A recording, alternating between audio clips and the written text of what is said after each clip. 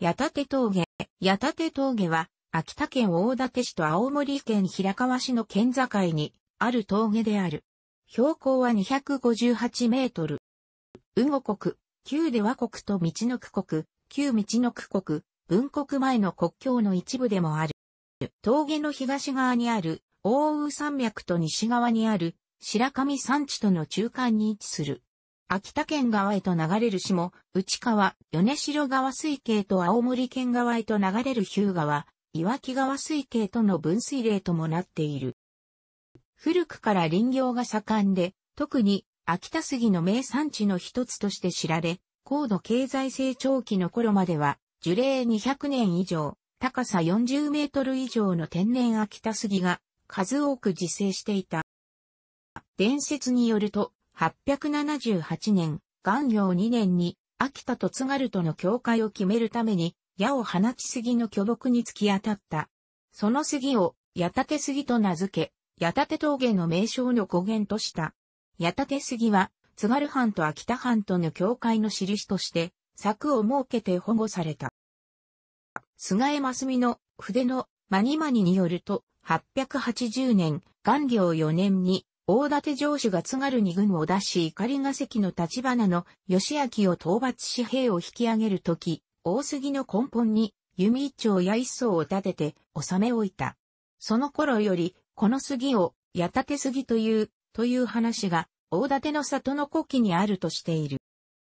国天類章によると、イニシエ津軽と被害、秋田が弓や戦いの時、双方攻め込むにあたり、戦神へ吉凶を占いとして、大杉に矢を射立てたので矢立て杉というとしている。古谷律杉は、元禄年間、1688年から1704年に空洞になり、王風に倒れてしまう。その許可部跡も次第に朽ちて、1748年、トール帝3年に杉株跡に囲いをし、1756年、法暦6年には株跡に若杉を植えた。この二代目の矢立杉は、樹齢200年に近い太平洋戦争の末期に伐採されてしまい、現在もその株跡が残っている。切り株の後には、三代目となる若杉が植樹されている。矢立杉の近くの津軽藩領には、津軽藩主が参勤交代の際に休憩するため、ご休み所120坪が作られた。また、その他の茶亭等の建物もあったという。藩主の王冠にあたっては、奉行や大官、各種の警護の人々が前日からお休み場で待機したという。1820年には南部藩、現岩手県を脱藩した浪人である、下留秀の神、後に、相馬大作の変名を使用裏による、弘前藩藩主狙撃未遂事件、相馬大作事件の舞台ともされた。この相馬大作事件によって、矢立峠は、講談等を通し、全国に知られることになる。しかし、これは、吉田松陰の記述をもとにした話であって、吉田松陰は、事件の場所を誤認していたとも言わる。1852年ウルー2月29日、吉田松陰は、矢立峠にたどり着き、地元の案内人から相馬大作の一件を確認している。山が元見から相馬大作の話を聞いた吉田松陰は、矢立峠まで来てこの九段の真実を知りたかった。江戸では、相馬大作の津軽藩主の暗殺は、成功していたのではないかという噂が流れていたからで、ある。しかし地元の案内人から、相馬大作の暗殺は失敗であったということを松影は確認した。ただ、案内人は事件の発生地を誤認していた。その後の矢立峠や矢立杉の様子は以下の気候文から知ることができる。菅江真澄、外ヶ浜風、古川小松県、ドンズー雑記、高山彦九郎、北港日記、井上忠敬、宴会日記、船遊亭、扇橋、奥のしおり。井上忠敬は、矢立峠を通った時、取り調べ厳しきこと箱根に及ばすと記している。1877年、明治10年に、反政時代の古街道に変えて、青森と秋田を結ぶ交通の要路として5年がかりで走行費9502円を持って矢立杉を通らない場所に明治新道が建設された。1878年、明治11年7月31日に、イザベラワードがこの、矢立峠、明治新道を通って、秋田県から青森県に抜けた。イザベラワードは、矢立峠を褒めたたえ、日本で今まで見たどの峠よりも私はこの峠を褒めたたえたいと記述している。1881年、明治14年9月11日、明治天皇が東北巡行した際には、矢立峠、明治新道を通って青森県から秋田県に入った。峠の野立所で休憩している。1889年、明治22年7月に、青森怒りが関大館の乗り合い馬車が開通した。1892年、明治25年に、新ルート、旧国道の道路が施行された。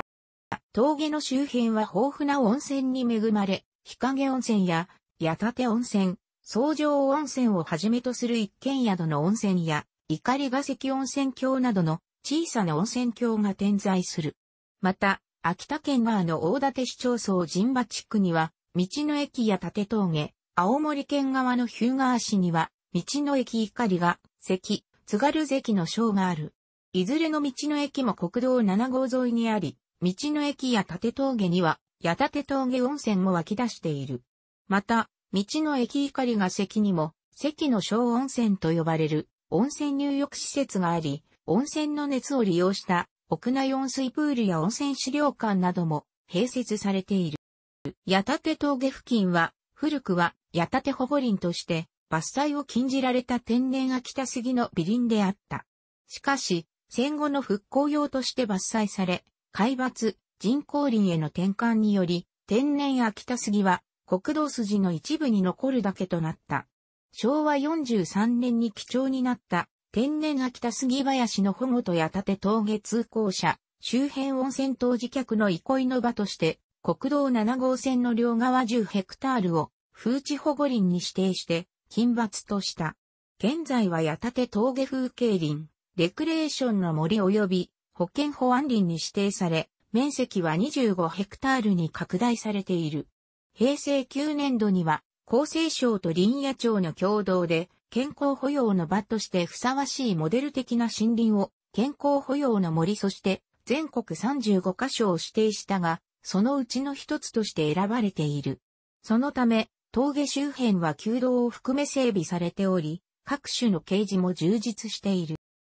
また、矢立峠を起点とした人吉森や大日、影山、縫糸山への登山重走路も整備されており、体力に合わせて登山を楽しむことができる。その他、峠の周辺の観光地としては、秋田県側の大館市町村地区には町村風穴、町村風穴高山植物群落、国の天然記念物。資料館の町村風穴館も立っているなどがあり、青森県側の日向市には、津軽湯の沢駅の近くに、怒りヶ関五関所、半世時代の怒りヶ関関所の建物を復元し、資料館としたものがあったが、現在は道の駅怒りが関に移設された。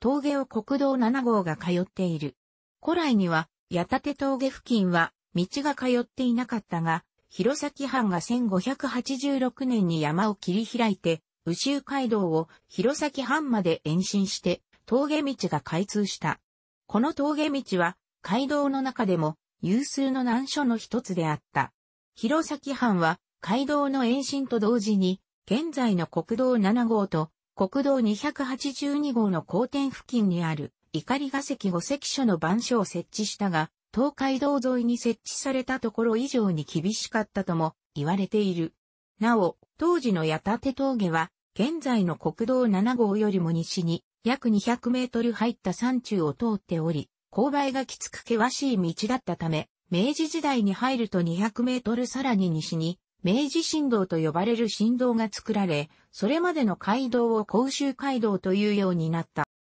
国道7号の秋田県側矢立峠付近は、急カーブが連続する線形不良のため、事故率が秋田県内の他の区間と比べ平均3倍もある。そこで、線形を改良するため改良工事に着手し、2006年12月、下旬に峠越えの区間において市区改良工事、バイパスが完成して、供用を開始し、続いて、陣馬市区改良工事が行われて、緩やかなカーブが続く区間となっている。